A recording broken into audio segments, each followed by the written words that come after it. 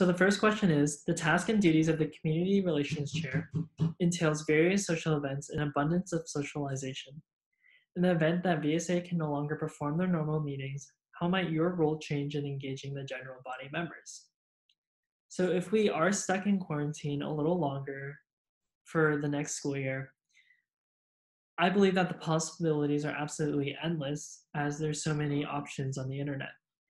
So one way is we can utilize Zoom or Discord, platforms like that. And then some ideas, just to name a few. We could do a game night where we play Club Penguin, Minecraft, Skribbl.io, Jackbox.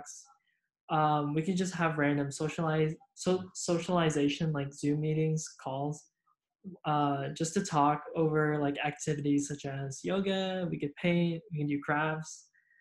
Um, or there could be like a just a day where we just eat lunch together and we just talk and socialize. Or we could have like a movie night through Netflix party. And then another idea is that someone could be like leading like a call where they like teach us how to like cook a certain item or bake a certain item and then, if anything, we could do a TikTok compilation and see who does the best of a certain kind of dance. But yeah, I believe the possibilities are endless if we do convert or continue to go online. So the second question is, what is one idea you'll bring to the table to increase engagement and excitement during GBMs besides icebreakers and energizers? So one idea I had was to ensure that members are paying attention and that they're hyped up, that we have like a trivia at the end of GBM where we pick a random member to answer questions about like the slideshow that we just presented throughout the GBM. And if they get it all right, they can win a prize. And the prize can be literally anything. It could be stuffed animals, it could be food, who doesn't like food? But yeah. And then another idea I had was to was to have like a raffle. So we can do this in like many ways. So one way is just to give everyone a raffle ticket, and at the end of GBM, we can see we can pick out a winner, and they would get a prize. Or we could, through involvement, you can earn these raffle tickets. So we could ask a lot of questions throughout our slideshow at GBMs, and then if someone answers, they get a raffle ticket. And then in addition to like winning a prize at the end, the person can have like the spotlight and get asked like three questions of anything that's appropriate. So yeah.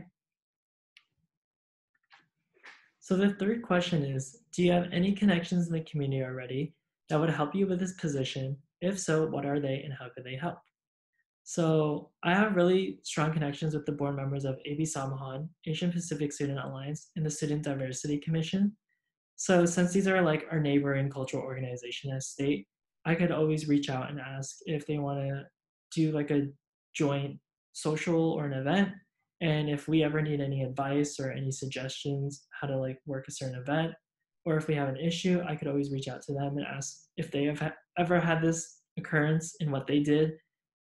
And then what's so good about having like a strong connection with the Student Diversity Commission is that not only does it compose of all the Asian American cultural organizations at state, but it but it also includes all of the cultural organizations. So there's a large variety of diversity within just that org alone.